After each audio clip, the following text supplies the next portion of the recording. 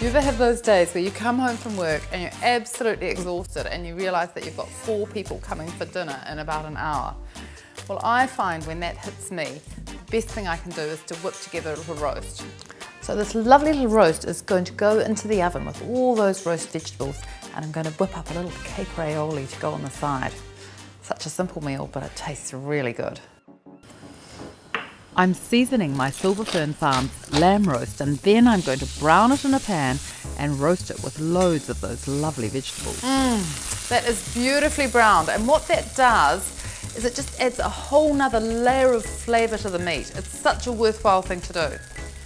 So into our pan and all those veggies, cut them up roughly the same size and that way they'll cook evenly. Rosemary goes so well with lamb pop another whole piece on top just so it looks pretty. And then this is my little secret trick. I just do a drizzle of honey, probably about two tablespoons. A little bit of olive oil. I've got my oven at 220 Celsius, so it's a really hot oven. And I'm going to put it in and the meat will take about, I'll check it after about 25 minutes. And then the veggies can carry on roasting while the meat rests. Simple as that. So if I want my garlic in a really fine paste, I always crush it with a bit of salt. Just use your knife, the flat blade of your knife like that, and work it into a paste. And I'm going to use this to flavour my mayonnaise. This is a garlic lover's aioli. A couple of tablespoons of capers. Some parsley, just to give it a bit of colour. Some mayonnaise. It's always the magic ingredient.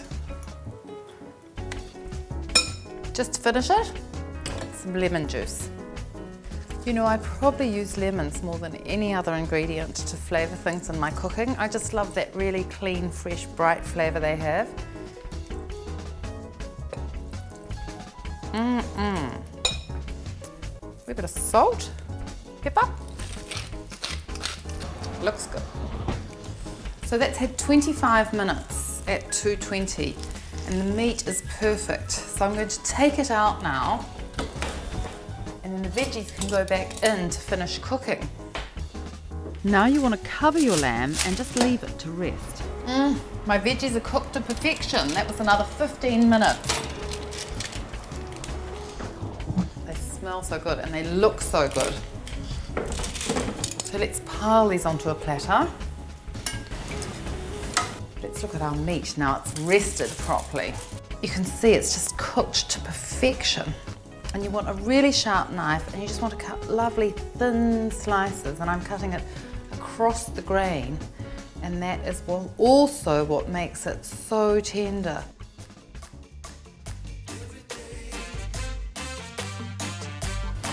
Beautiful New Zealand lamb. Sometimes you can just feel that life's too busy to invite people over. But when you see how simple it is to make such a sort of celebratory, festive meal like this, that everybody's going to feel so welcome.